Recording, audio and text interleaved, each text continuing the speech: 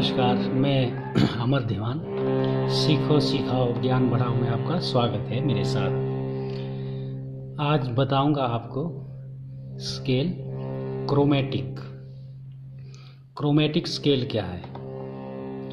सी से लेकर सी तक।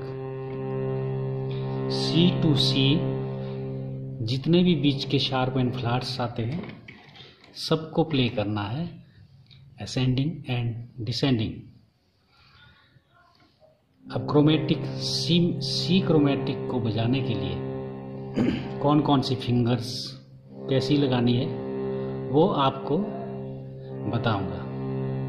आप ध्यान दें फिंगर वही लगाएँ, वही उंगली लगाएँ, वही अंगूठा लगाएँ, जो जहाँ पे लगना है, जो मैं बता रहा हूँ।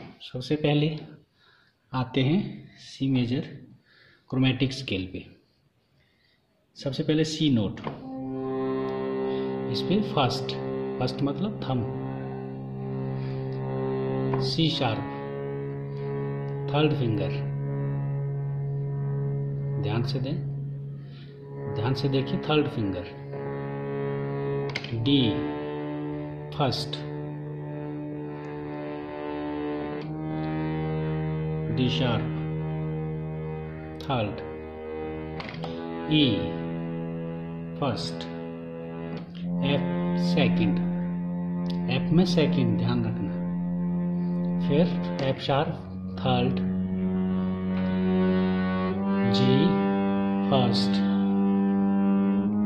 G sharp third A first A sharp third B first C second फिर ऐसे ही डिसेंडिंग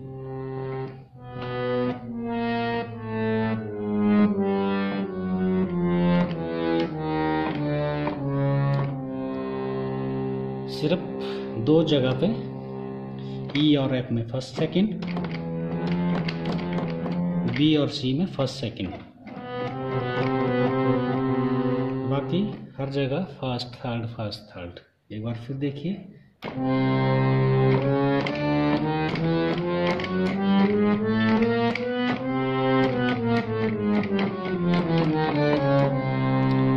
इसी क्रोमेटिक स्केल की प्रैक्टिस को सही फिंगर लगा के आपने छः महीना कंटिन्यू असेंडिंग डिसेंडिंग आरो अवरो प्रैक्टिस करना है तो आपकी उंगलियाँ बहुत तेज चलने लग पड़ेगी।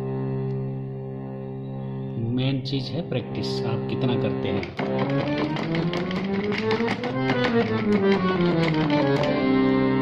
अब आपने मुझसे भी ज़्यादा तेज फिंगर्स चलानी है।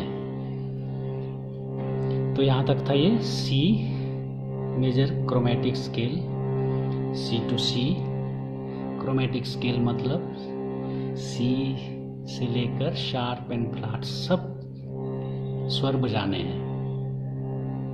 उसको कहेंगे क्रोमेटिक स्केल